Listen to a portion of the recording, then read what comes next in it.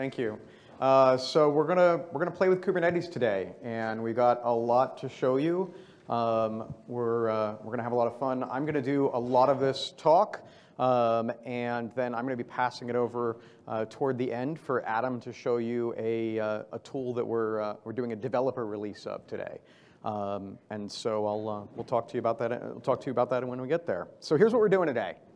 Um, we're gonna talk briefly about what Kubernetes is. Um, who already knows what a Kubernetes is? Great. Okay, cool. So we're, we're going to demonstrate attacks on Kubernetes clusters. Who's already attacked Kubernetes clusters? Okay, cool. Good. We'll be showing you. We'll be showing all but one something new. Um, we're gonna, I'm going to show you how to uh, demonstrate some defenses, talk about the other kinds of defenses you can use with Kubernetes or with other, or with other uh, cloud orchestration platforms. And then we're going to show you a new open source tool, which is called Pirates. And uh, Kubernetes means helmsman in Greek. Pirates means pirates in Greek, because, you know, helmsman, take over the ship. Okay, so real quick on the what does Kubernetes do? Um, basically, uh, if I, you know, if, you, if someone were to say, what does Kubernetes do? I'd say, suppose you've got a ton of VMs. Suppose you have a pile of compute. You have a ton of virtual machines, um, and you need to, and you need to get workloads onto those virtual machines. Kubernetes is going to let you, is, Kubernetes is going to help you put the work onto the machines, make sure that, make sure that all the stuff on the machines can find each other, um, and, uh, and keep it all running. So that's kind of like, that's, that's, what, these, that's what these bullets mean. Um, some quick concepts that we'll need on the attack side. So this is our, we're gonna talk about pods and volumes, we're gonna talk about nodes, we're gonna talk about services, we're gonna talk about namespaces. So first, pods. You'll hear about pods, you're like, wait, I thought Kubernetes was for containers. So Kubernetes has created this concept of a pod. And a pod is the smallest unit of work in, in Kubernetes. It is, um, it, it has your container in it um, at minimum, and usually it's got, sorry, often it has more than it has more than one container. So in one of our examples, we'll see a pod that has a pair of containers. Um, the whole reason you stick two containers in a pod is because they'll share an IP address.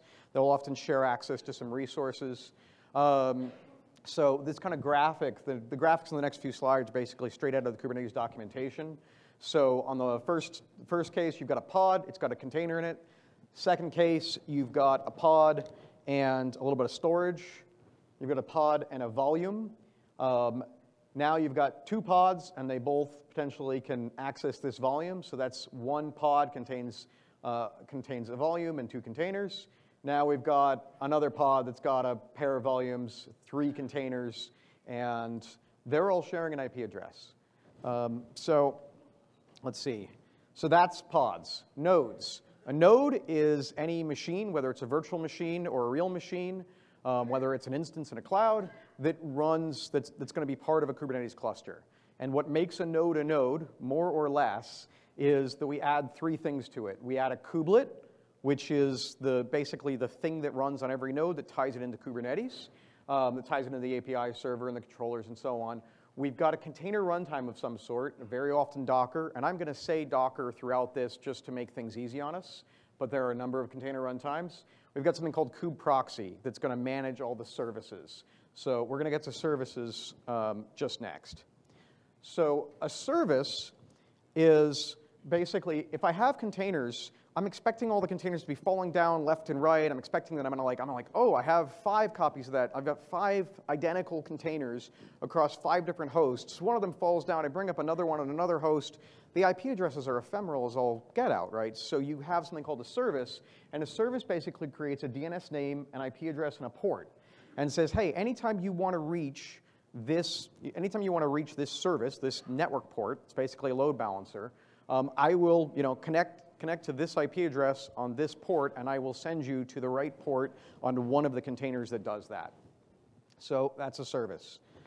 Lastly, we've got namespaces. And namespaces are a logical grouping um, for pods, for services, for accounts, for roles. We'll talk about that a whole bunch more. The big thing to understand is that namespaces are often used to separate projects or to separate groups, to separate tenants. Um, and they're the, they're the only thing that Kubernetes really has for multi-tenancy right now. Um, for saying you've got, you know, you've got this department and this department, and they're, they shouldn't be looking at each other's workloads. So a little tiny bit more on the introduction. Kubernetes is declarative. We basically feed it YAML files for the most part to do things. Um, so you say, I'd like to always have, I, I have this, uh, I have this container image. I want it staged on, I want five copies of it staged, ideally on five different machines, so that one of those machines can, you know, have a huge hard disk failure or whatever, and another one can come up on another machine. We'll only be taking one container out.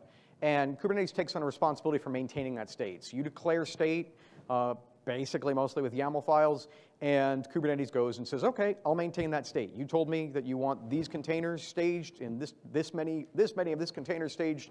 You want to label these as such. You want services that will send incoming traffic from outside the cluster there. You want services that say that when traffic inside the cluster is trying to reach a container that does this, here's how to do it. I'm just going to handle all of that. So, and that's really kind of the fun. It's basically, in a lot of ways, uh, an organizational, it's kind of like an organizational tool. Um, the big, the, the, kind of the first big use case for Kubernetes was over at Google, um, where they had the Borg, which was a predecessor and, made, and, and is likely what they're still using. And I forgot the number of containers that they launch per you know, second, but it was something, it was something like in a second or in a minute, they launched 2,000 containers or so. Um, like you can find the quote, it's, it's the, they told you how many they do in a, in a week. They said in a week we launch about, and it might have been 2 billion containers. Um, so there's no way for anyone, for any one person to keep up with, oh yeah, you can have that VM, you can have that VM. You have to automate that in some way. So, okay, a little bit. So now we're going to start getting into what it's like to attack these. So here are the some of the components we might attack. Um, you're going to you're going to see us attack uh, most of these. So we're going to attack the, the, uh, the API server. We're basically going to take privilege that we have. We're going to tell the API server we'd like to do some things. The API server basically takes those YAML, ends up getting those YAML files from you and directing the other components to take action. We've got a kubelet. We talked about what that kubelet is. That's the thing that's tying Kubernetes to the container runtime, Docker, what, ha what have you. On each node, we've got the container runtime. Um, we've got an etcd server that's maintaining state. Um, we have a Kubernetes dashboard. Um, the Kubernetes dashboard's a wonderful web interface uh, that can do a whole ton. And most of us, when we're hardening, turn this thing off. Tesla is one of the many companies that had their Kubernetes cluster owned simply by, wait for it, somebody basically finding their dashboard on Shodan, finding it had no, you know, finding it had no credentials or what have you, and uh, uh, just doing whatever the hell they wanted with the cluster, which meant, I think, installing crypto mining. So, and we've got different kinds of metrics components. There are tons of, there's tons of material out here for this. So we're, um, I'm going to tell you that this talk is a really good intro, but if you get into this, um, go find some more talks, go find some more slides, and honestly, go get some experience and start giving the talks yourselves because honestly, the InfoSec community is very new to this. Um, so attacking a, attacking a Kubernetes cluster generally starts from the perspective of a compromised pod. There's a little bit you can do from outside, but just like when you're doing a penetration test or red team exercise on an organization, kind of like getting that first bit of access is almost just assumed. So we're going to start from the perspective that we've compromised a pod. Um, and here are the th kinds of things we're gonna, that we might do. So an attacker in a pod could just use being in that pod to go and attack other things. Once we're in the cluster, we have a whole bunch of network, we have a whole bunch of, uh, of uh, network space, uh, what am I looking, what's the word I'm looking for? We have a whole bunch of attack surface on the network that's just ripe. We have all these, it, it, and it's very friendly and tells us. You're like, hey, can you give me a list of services? And it's like, sure, no problem. Here are all the things you might want to talk to. You're like, that's wonderful. Uh, I think I'll start talking to those and attacking them. Um, we're going to attack other containers that are in the same pod, because once you're in a pod with another container, remember you're sharing an IP address. There's kind of no, you know, there's the network controls there are kind of non-existent. I mean, well, so much as, except containers only publish the ports, only publish the ports they meant to be used. Um, we can make requests to the API server. We can make requests to the kubelet. And you'll see us do both of these. You, we can gather secrets that Kubernetes is providing the pods. We can connect to the dashboard. We can interact with the etcd server and change the cluster state. We can, and this one's going to be really fun, we can interact with the cloud service provider using the cluster owner's account.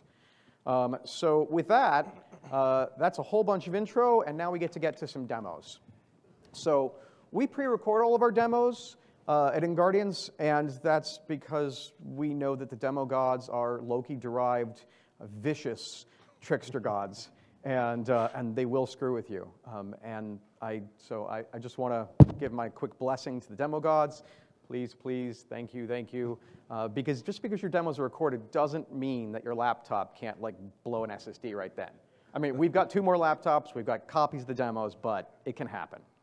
So this first one, um, we have a cluster that we're going to be releasing, that we're going to be uploading at the end of this week, and it's called Bust-a-Kube. Um, and we'll be talking about that a little bit later. Um, uh, so uh, we'll have a little Easter egg, a, a little music video. Um, so, um, but we have a cluster called Bust-a-Kube. And, um, uh, and that Bust-a-Kube has, uh, has two scenarios. This, the first scenario we're going to show you is, the, is our first video. So, help me out here. Ah, there we go. Okay, like I said, pre-recorded. So this video starts, oh, well, that doesn't work. Uh, we're not on the projector with our video, and hopefully this means we are now. Nice. Okay, well, remember that. Everybody, everybody remember play from current slide. Play from current slide. You guys are going to all remind me, right?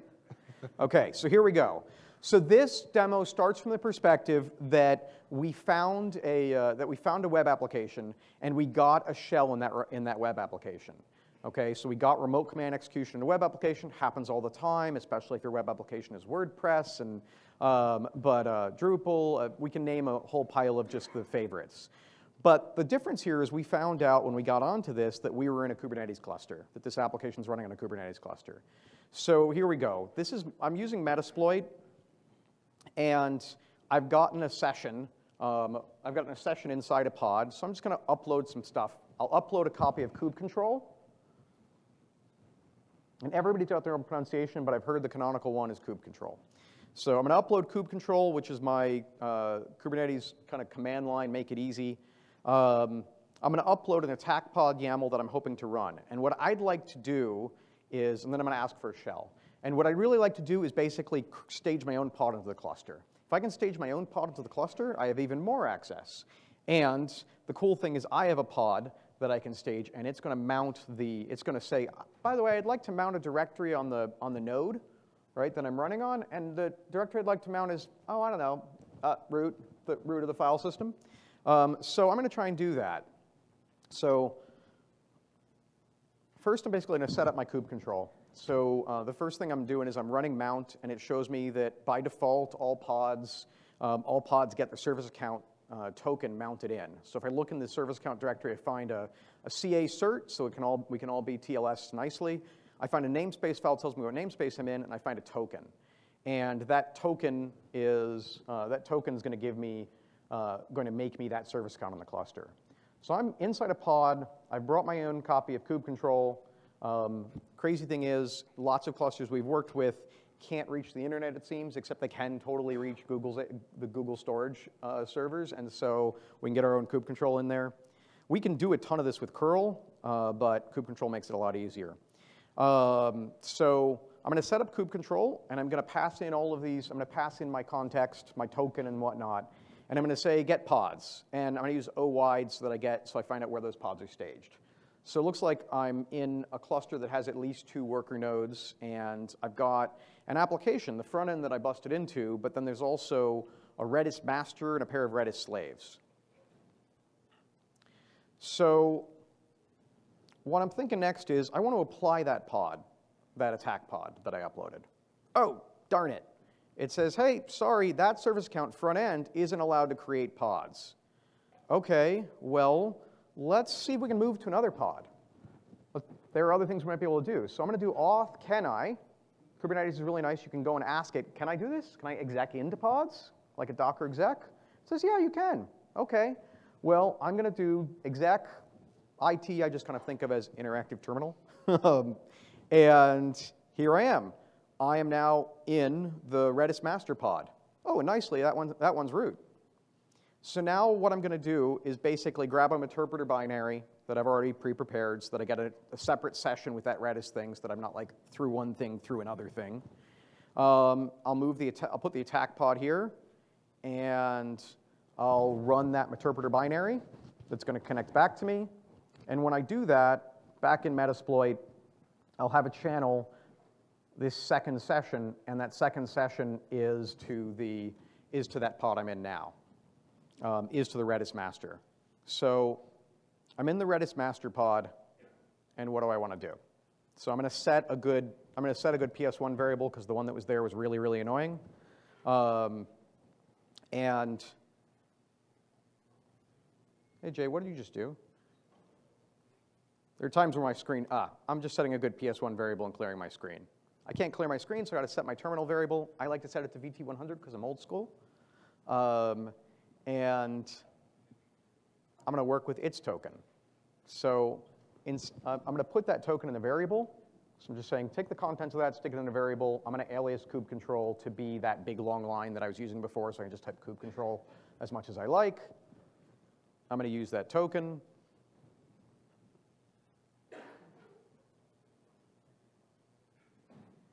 I'm to tell it the server, and I got that I got that server from an environment variable earlier.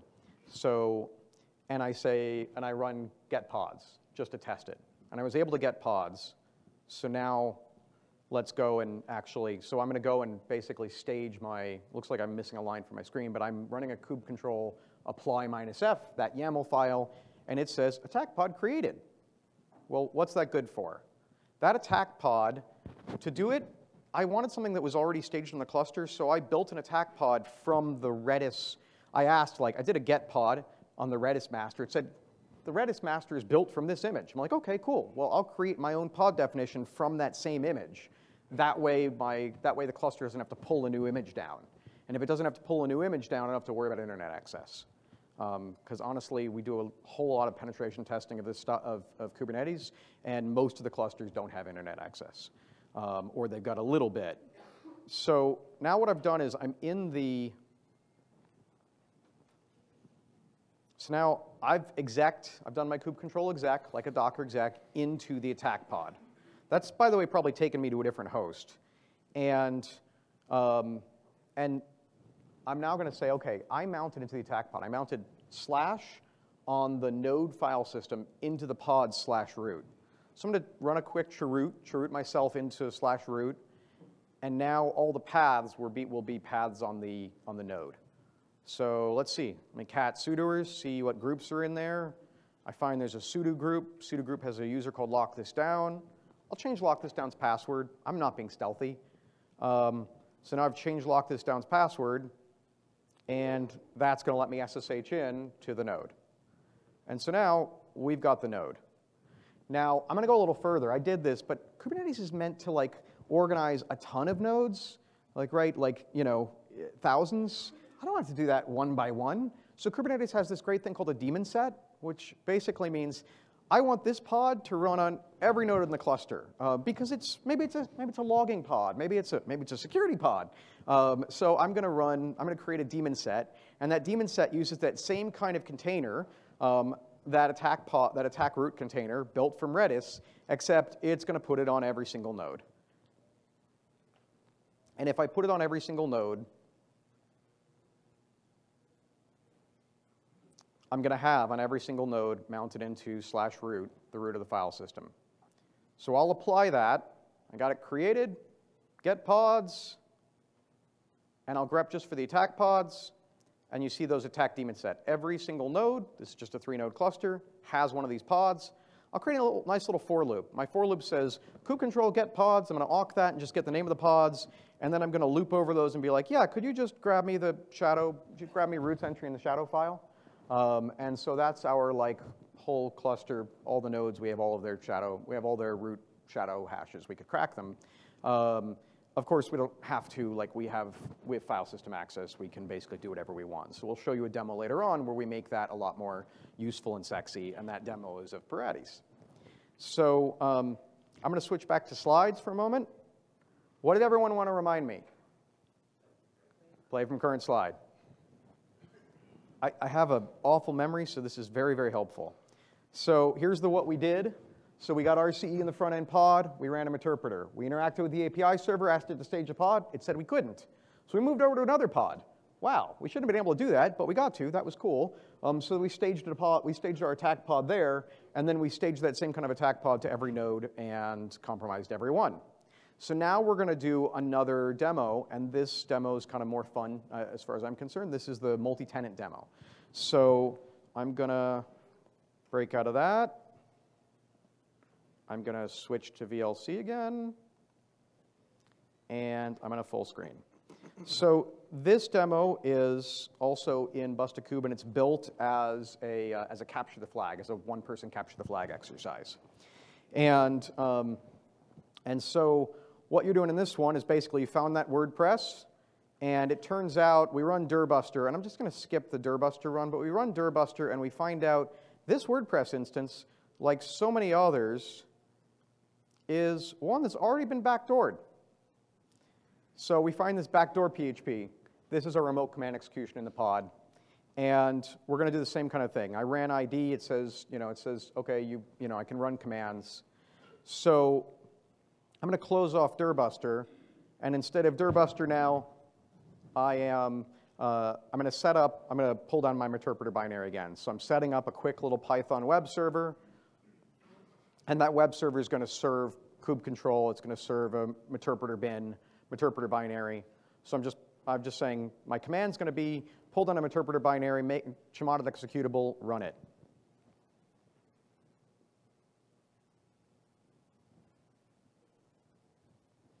So I'm running that, I'm, I'm, I've pulled down a Meterpreter. Now I'm going to pull down kube control, get that uploaded. I look at the web server and it's seen, and it's, uh, it's seen that download. Cool. Um, do an ls minus l, just make sure it's there. Meterpreter, Meterpreter reverse shell's there, kube control's there. And now I'm going to set the permissions on Meterpreter, on the Meterpreter binary, set up a Metasploit console to catch the shell that's going to come in, and go. Okay, so interact with that first session. It says, here you, here you go, You're in a, we're in a pod. Um, we, had, uh, we had WordPress. We found, we've got that same kind of token directory. There's a flag. First flag says, hey, uh, you found the server's backdoor, but you might notice this isn't your usual Linux system. You're in a cluster, my friend. It's time to bust a kube. Um, and so this container doesn't have any more flags. Can you find your way to another pod to find a flag? So we're going to try that same kind of kube control exec trick that we did before. So I'm going to go to that service account directory. I find I'm not in, this time I'm not in a default namespace like I was before. I'm in a marketing namespace. So uh, I've got the, I know my namespace, I've got my token. And now what I want is the server IP address, the API server IP address. So every pod gets a ton of environment variables, very helpfully. tells you services, sometimes it gives you passwords. Um, always check, like you bust into a pod, like always check the environment variables. You'll find useful secrets in there. You'll find literally secrets, um, because that's one of the ways that Kubernetes puts things into a pod is by environment variable. Um, so we're setting up our kube control.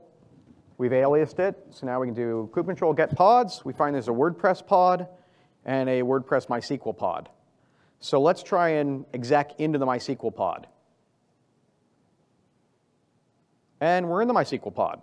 Cool. And in the MySQL pod, we find a second flag. Where's that flag going to send us? Flag says, hey, you found your way to another container. You're actually on a whole other virtual machine. Um, and, uh, and your end goal is to get to the developer's non-containerized host, a host outside of the cluster. But to get there, first, you're going to need to see if you can hop tenants. And the tenants are separated by namespaces. So we need to see if we can hop namespaces. So we're going to show you one nice little namespace escape trick. Um, and it's, it's just, it's kind of too simple. Uh, I just tried to run a kube control get pods, and I can't even get pods here because this account, the MySQL marketing service account, isn't allowed to get pods. But it is allowed to get nodes, which is very nice. So we've got um, we've got the node IP address for each of these three nodes. I have another three node cluster. And what I'm going to do is I'm going to go and talk to port 10250. And 10250 is one of the two ports that the kubelet listens on. 10250, 10255. You'll see us use both. 10250, I'm going to say, hey, can you give me a list of the running pods? And it's like, well, sure, of course I can. Okay, I wasn't allowed to list pods, but if I can reach this port, I can get a list, I can get a list and all kinds of great info. Well, that's nice. Okay, I'm going to parse this with JQ for a JSON query, a great little binary, make this a little bit easier to read. I see a list of those pods. I've asked for just the pod in the namespace, and I see that there's a dev pod in the dev namespace. That's the other namespace here. And so now I'm going to go and get a little bit more information. I'm going to go look at that pod. And that dev pod has two containers in it. One's called dev sync, one's called dev web. So the dev sync sounds really good. Dev sync sounds like, it sounds like the normal pattern where you've got a web server and then you've got another program that's pulling, this, that's pulling content into the web server. So we're gonna go and try to run um, in the dev sync pod. And we'll run this curl command, this is 10250 run dev, dev namespace, dev pod, dev syncs the name of the container. And our command exits, there's not actually a good shell in there. Um, so Let's try the other, let's try the other container that's in the same pod as devsync. Probably not as, not as uh, hot, it's probably not as hot as, the, as devsync was, but that'll work. Oh, okay, we can run commands in there. Well, cool. What commands might, might we want to run? We'll do an ls. There's flag 3. Let's cat out flag 3. And it says, okay, no more wasting your time in marketing. You've gotten into development. So now, can you get to the development department's non-containerized machine? They're big fans of the Matrix, so it's named mainframe for the machine mainframe that's in, you know, movie three. I know some of you don't believe that Matrix movies, you know, two and three exist. I respect your religion there. Totally makes sense to me. So I'm going to do a get secrets. Um, and my thought is basically that, dev, that, that, that even though dev web doesn't need the SSH key that's being used for syncing in dev sync, it's in the same pod, so it's got the same service account, and so it'll be able to get to the same secrets. So I see some tokens, but I also see a mainframe login and SSH, log, SSH key. By the way, these secrets are opaque. What does opaque mean? Opaque means I've just asked for the SSH key. Here's that opaque SSH key. Base64 decode, there we go. That's what opaque means. It means, ah, we base64 encoded it just to make it feel a little less like it's just sitting out there in the open and we'll get the mainframe login secret. Don't know what that's going to be. We'll base64 decode that. Kubernetes hacking, by the way, at least this way, involves a lot of typing.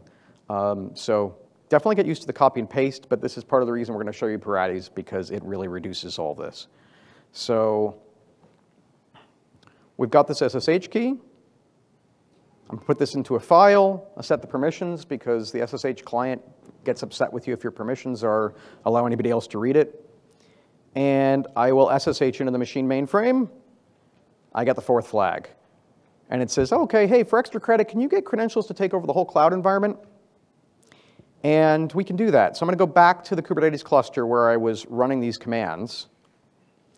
And instead of, I'm figuring like the dev people probably have a lot more access. So instead of running this kube control get secrets, I'm going to do a curl against the metadata API. This, is, this one's in AWS, um, but this thing exists in GCP too. So I'm going to go and say, hey, metadata API. And the metadata API is there to um, is there to give a running instance in, you know, in AWS uh, information about itself it might need, including, it turns out, its credentials. So we can pull down a, we can pull down a bearer token. So we say, hey, uh, what's my account? Your account is masters.cluster.bustacube.com. Okay, cool. Let's try asking for it. Oh, well, that will be really, really useful. So I'm going to stop there, um, but that's basically, that's, that's, our, that's the extra credit is you get to the metadata API, you say, hey, you know, I, I, I, am walking around this cluster, eventually I'll own the entire cluster, but it's not thinking big enough for me. Could I have the whole data center? Um, and if your data center happens to be virtualized, then, well, yes, you can. Um, so we'll show you that. We'll show you that trick again later on in one of our other videos. So, um, so anyway, this was our multi-tenant attack. I'm not going to go over this because I think that this was pretty clear. Um, now what I want to do is just talk about defenses.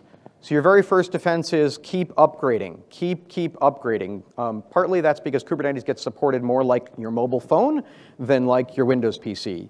The updates basically go like three releases, not five, not 10, not back, not back five years.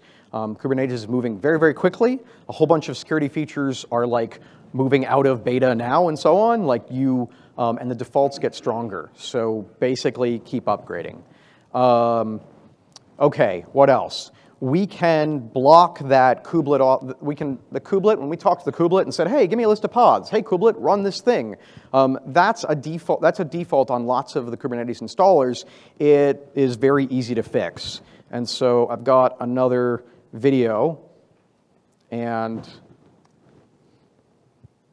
so the kubelet, if you go and put anonymous auth false and authorization mode webhook in there, and you restart the kubelet, then when someone tries that same curl command, they get unauthorized. Easy peasy. Um, we have, the next thing we have are network policies. And network policies, like honestly, if you take nothing out of this, if you're on the, on the defense side of this, if you take nothing out of the defense side of this talk, take network policies. Because basically, what a lot of what we're doing and a lot of what you'll see with Pirates is we're in a pod and we're talking to the freaking control plane. And we shouldn't be able to talk to the control plane. We shouldn't be able to talk to a kubelet, right? We shouldn't be able to talk to the, you know, to the underlying node, to the underlying node or any of the other underlying nodes. Heck, maybe we shouldn't be able to talk to the API server if our pod shouldn't do that. Um, we shouldn't be able to go and, you know, send shells rocketing back, you know, reverse shells rocketing back to an attacker. Like egress on our pod, um, it should be controlled. So Kubernetes by default, if you have no network policy for ingress or egress for either of those, each of those separately is a default allow until you add a network policy of any sort, and then it becomes default deny. So we can create a nice little network policy, and here's basically what this looks like. Um, just in structure, you create a YAML file. The YAML file is kind network policy. You name the policy, you say what namespace it applies to, you say what pods it applies to, and by pods, you don't name the pods, you select by label, and then you set ingress and egress rules. So here's an example um, you'll be able to find these slides both at RSA, RSA's website, but, um, but also at InGuardian's website. Um, and uh, yeah, we're definitely you're going to find stuff there. So here's what a policy might look like for an app. It says, hey, I want to have a policy on ingress. So any, any, any pods that match app, my app, are going to have whatever policies, uh, uh, sorry, any pods that match my app and role API are only going to allow traffic from pods that match app my app. Um, we can do egress, and that's what I'm about to do now in this next video. So the start of that video was like repeating the attack. So here's our, we can run a command. Now here's a network policy. It says we're going to deny egress just to this one pod. So in the marketing namespace, pod selector says for something that matches WordPress and MySQL, We'll have an egress policy. The egress policy says nothing. Don't allow anything. And then if we really needed egress, we could add some more rules. So once we put this in place with the kube control apply, and we try again, nothing. We can't get to that kubelet. So that's the, that's the power there. Um, let's talk about some more, let's talk about some more, uh, I'm just going to check time, cool. So let's talk about a few more defenses, and then we're going to get to an attack tool. So the next big defense you have is that you can give everything a separate, a, a different service account. Every pod, every kind of, every, every kind of pod that you, uh, that you set up should get its own service account, and that service account should basically, again, default deny, not be able to do anything on the API server it should need to do. And there are tons of pods that never need to talk to the API at all. Um, so this won't stop the pod from getting to the kubelet, but it will, um, this is basically putting authorization in. Um, RBAC is the one is the is the authorization model that's used now, and RBAC basically says you create a role. You have service accounts, you have roles, you have role bindings, and I'm going to just I'm going to show you a demo. There's an entire really good talk by Jordan Liggett um, at KubeCon, and he does a great like little pirate ship um, uh, inspired uh, talk on this that makes it a lot more fun. Um, I'm going to show you the demo just so you can see what how this works out. So here we go. We're in our WordPress pod, and sorry, we're in our pod, and we're just going to take that. I cut this video a little tight. So I have, um, I was, I'm able to, I'm able to exec, and I don't want to allow something to exec. So what I'm going to do is I'm going to apply these files. I'm going to create a service account for WordPress. and I'll show you the contents of these files next. I'm going to create a role, which is a set of actions that can be bound to a user. Um, I'm going to um, I'm going to create a role binding that binds that role to that to that service account to that user, and I'm going to do I'm going to go say and I'm going to go and replace the deployment. So I'm going to take the WordPress MySQL deployment. I'm going to delete it, or the WordPress the front end. I'm going to delete it because remember in this in the attack the WordPress pod was able to exec into the WordPress MySQL pod. So we're going to cut that off. So I'm going to delete that deployment. I'm going to apply an updated deployment that has, the, that has this new service account set up. So here's the binding. It says we're going to, we're going to bind. So you have roles. A role is a set of actions, a set of things you can do. A role binding assigns that role to one or more users or to one or more service accounts. So this is saying, okay, I'm going to create this, role, this binding. This, this binding is called WordPress can uh, get pods. It's only for the namespace for the marketing namespace. It's going to affect the WordPress uh, the WordPress service account. It's going to apply the get pods role. As soon as you have one role, um, well, so here's the role. This role is just named get pods, and it says, hey, for these resources, you can get pods, you can list pods, um, and that's all you're going to be able to do.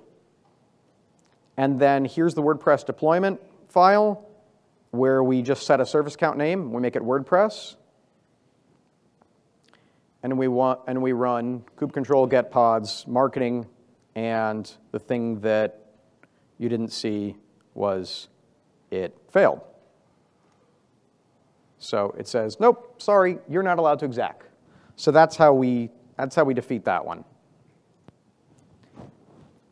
And back to play from current slide. So there's an RBAC example. Um, there is these RBAC rules, these RBAC roles. Um, the cool thing is you don't have to create your own custom service accounts. There's actually a great tool similar to SE Linux's Audit to Allow. There's an Audit to RBAC uh, written by Jordan Liggett, and you can pull that down. If you watch his KubeCon talk, you'll see that. You'll see that working. Um, uh, you'll also find if you refer to this slide deck on EnGuardian's site, you're going to find it, all these videos are going to be YouTube links. So wait until, wait until the end of the day and pull down.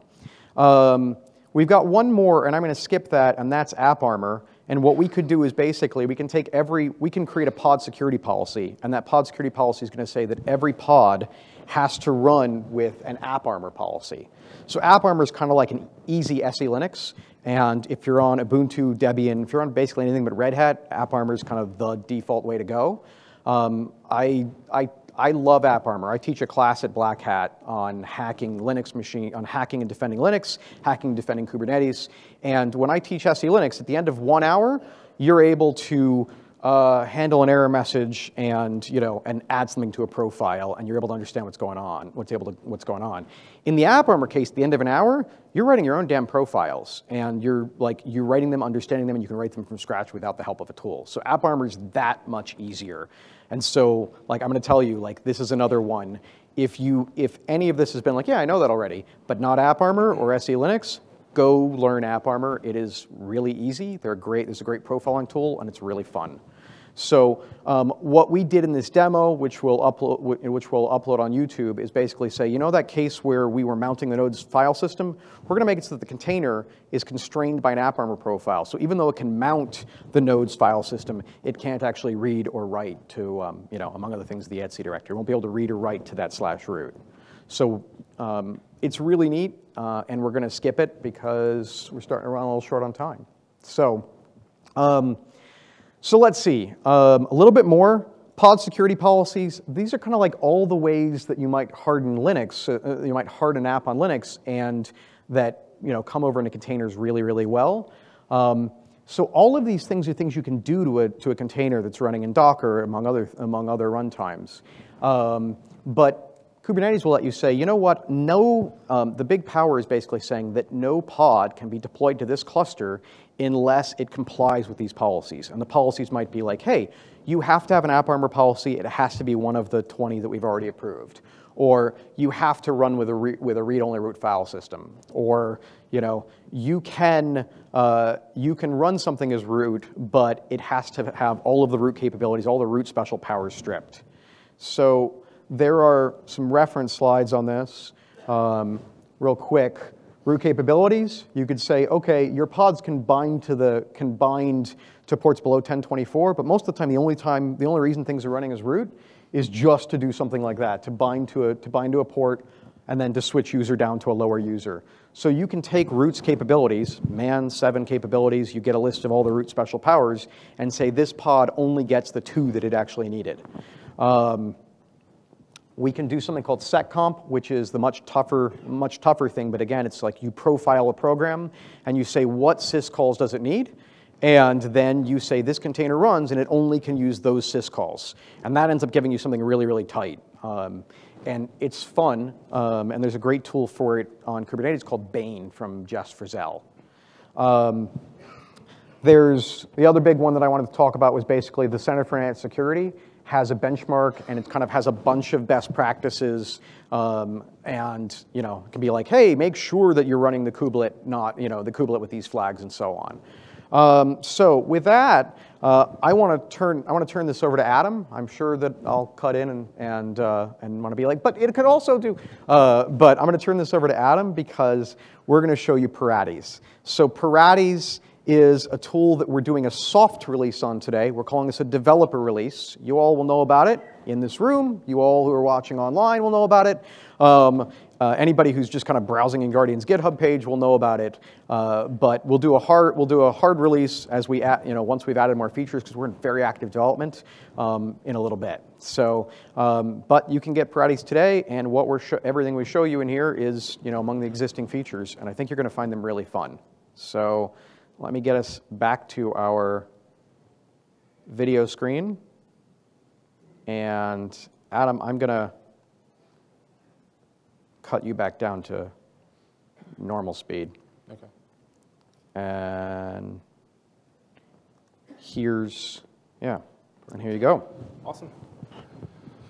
All right, so uh, Paraties is a tool for um, basically it's, it's written in Go, and uh, it's we use it on a lot of our assessments, uh, whether it's uh, you know ones uh, assessments that are in the cloud or even assessments that are using a Kubernetes on-prem solution. Um, so we've coded some of the modules for both sides of the fence. Um, so this demo right here will show the uh, on-prem solution uh, on basically getting some of the modules, using some of the modules, and uh, basically doing some of the demos that uh, Jay did just a second ago, uh, talking about mounting the root file system, but it's more automated and, and faster uh, for us to use.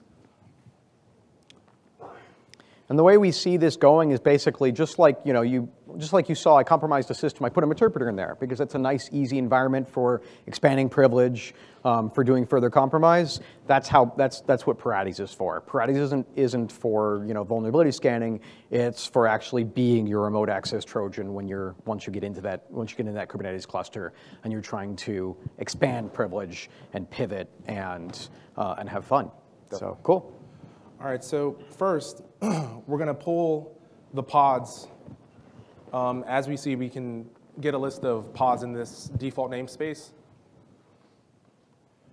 the next, we'll, uh, we'll basically get a complete list uh, of the pods uh, that does a dash O JSON output that provides a lot more information uh, that I would definitely tell you guys to take a look at that information because you'll be surprised on what's in there.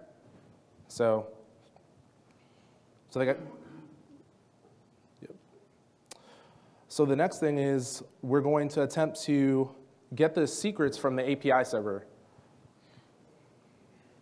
And this pulls down the secrets and also the service tokens uh, from, from the, the actual API server. So we can see that there's a default token there.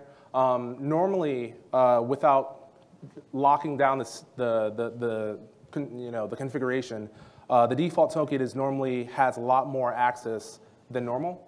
So we're going to use that token, grab the name, and then we're going to take that token and grab the actual, uh, the actual token from the API server.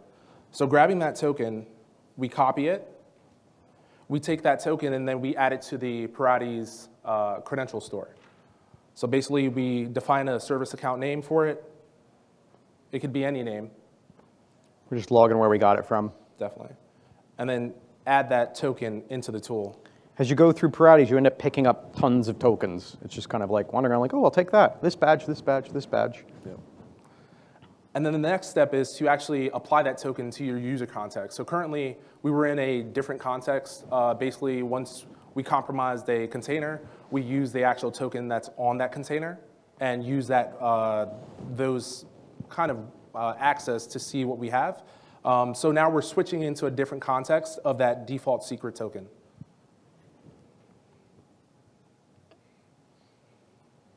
So we change the, now we're that service account default secret. And now the next step is kind of similar to what Jay pre presented around the uh, mounting the root file system with the YAML file and applying that. Uh, well, this, this default service account token has the ability to, uh, to run that YAML file and apply that YAML file to, to, this, to the pods. So basically what it's going to do is going to uh, mount the root uh, file system and then basically um, access the Etsy cron tab and add a uh, netcat uh, reverse shell back to our uh, back to our listener. So basically, the, the, the module for gain reverse root shell back to our uh, attack machine is basically you provide the IP address, and you can get that from the, you know, from your, from the device that you're running the netcat listener on, and then basically take the port, add that to the Paratis tool, enter the port. It creates a pod, an attack pod, and then the netcat callback was actually successful. So then basically that, net, that actual cron tab is waiting for a minute. Just until the start of zero, zero, start of the clock of the next minute. And then basically we should have a shell right there. So that cron tab executes and we have a shell and now we have access to the outside, outside of the, the, the device that's running the Kubernetes infrastructure. Exactly. We've busted out of the container into the node, maybe into a different node. I think this, in this case, was the master node. By the way, that was my, what Adam just did was a much easier version of my first demo because he starts in the front end and he's like, okay, I can't apply a pod.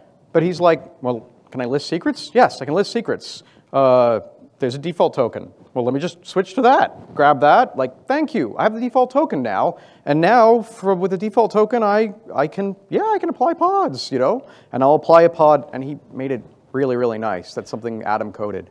I'm going to take the other video, because I recorded that one, and I can do it a little faster, because I've actually run us so much out of time. Um, so here we go. So this is our other. This is Kubernetes, this is Paratis running in GCP on a GCP cluster. Um, cool thing, ask the metadata API there for your credentials. It says, yeah, here you go. There's a there's a, there's one for a uh, there's one for a service account tied specifically specifically to that machine, but there's also a default one. I love def- I love the word default in clouds, and I love the word default in Kubernetes. So we're going to then use 15, and 15 automates a bunch of this. It grabs the uh, um, it grabs that credential. It asks what project ID am I in. It says, can you list all the buckets for me, all the GCS storage buckets for me that that project owns? Cool. And then it runs, um, and then it searches through that, through all those buckets. And it looks for it and it finds service count tokens um, that were created by the installer in this case. So here we go. We search the one and only, uh, one and only, one and only uh, uh, bucket and we found among the objects an admin service count token. Also service count tokens for other components for when they were being installed. And what happens next? We add that to the tool. Um, we're going to call this one admin from GCS bucket. And now we're honestly, once we switch contexts, we own the cluster. So just to show you that we own the cluster, we'll list the namespaces. We'll go to kube system. We'll switch to it. And we're in kube system now. We're in kube system with that admin token that we got. The cluster is ours. And so just to show that that's ours, we asked for the secrets that are in this namespace, and we have the token for every component that's in the cluster. So the demo goes on from there and, uh, and grabs one and just says, okay, well, let's just prove that we can, that we can get that. And so I'm gonna, we're gonna stop there and put up our final slide, um, which is um, that call to action. So what do you do with this? Take these attacks and defenses to your work. Make sure you get permission to do the attack part. Um, use the attacks. If they work, you've got hardening to do. So take the defenses and use them not just for hardening, but use them, use them as you're planning the cluster. Um, lastly, InGuardians has a webinar series, so you can see uh, the next step in this kind of talk. Uh, in this talk, we're going to doing in, uh, in uh, March, and then in April, we're doing ICS. Our director of ICS security is going to do scanners, tunnels, and SIMs OMI. So thank you very much. I hope you had fun watching Guardian's site for uh, talk slides, for the YouTube videos of our demos, and uh, have a great conference. And if anybody wants questions, we're out of time, so we'll see you out in the hallway.